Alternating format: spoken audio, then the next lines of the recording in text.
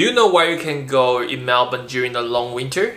Today I will take you to a one day ski trip at one of the closest places you can go in Melbourne.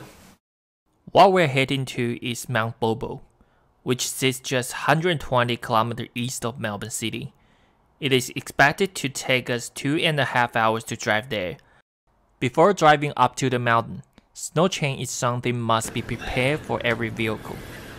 Can you just stick your name, address, and phone number up there for Yep. us? No worries.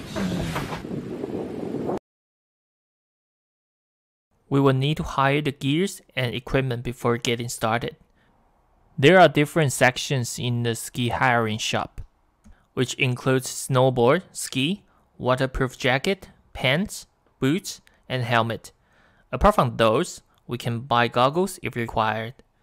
Lastly, lift pass is what you need to make your life easier in the slope.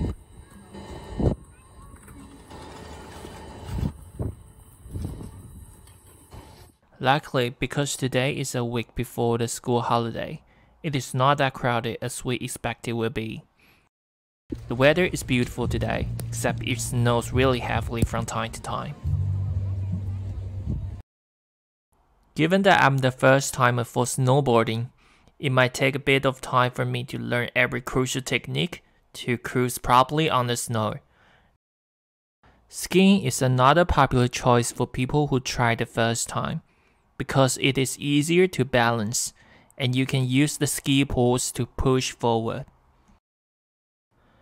We're all exhausted after only a few hours in the snow and ready to go home.